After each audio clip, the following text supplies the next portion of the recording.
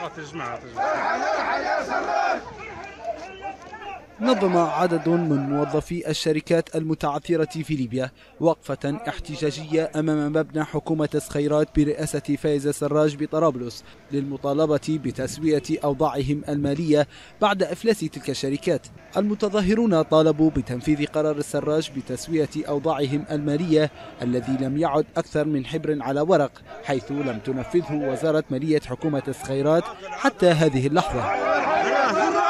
ارحل ارحل ارحل ارحل يا سراج ارحل ارحل يا سراج هذه المظاهرة تعد هي الأولى من نوعها في العاصمة طرابلس منذ تراجع السراج عن قراره بإيقاف وزير داخليته فتحي باشاغا الذي تم توقيفه عن العمل. وتواجه حكومة السراج صراعات داخلية سواء على السلطة أو النفوذ امتدت من قيادات الميليشيات إلى المجلس الرئاسي وصولا للقطاع المالي. ويعاني الأخير من تضارب القرارات بين وزير مالية سخيرات فرج بومطاري وفايز السراج ومحافظ المصرف المركزي بطرابلس الصديق الكبير حيث وصلت إلى إيقاف تنفيذ كل طرف قرارات الآخر بدعوى عدم الاختصاص. وفي الثالث والعشرين من أغسطس الماضي بدأت احتجاجات غاضبة ضد حكومة الوفاق في العاصمة طرابلس ومدن المنطقة الغربية الخاضعة لسيطرة الميليشيات على خلفية تدهور الأوضاع الاقتصادية وتوقف أغلب الخدمات الأساسية.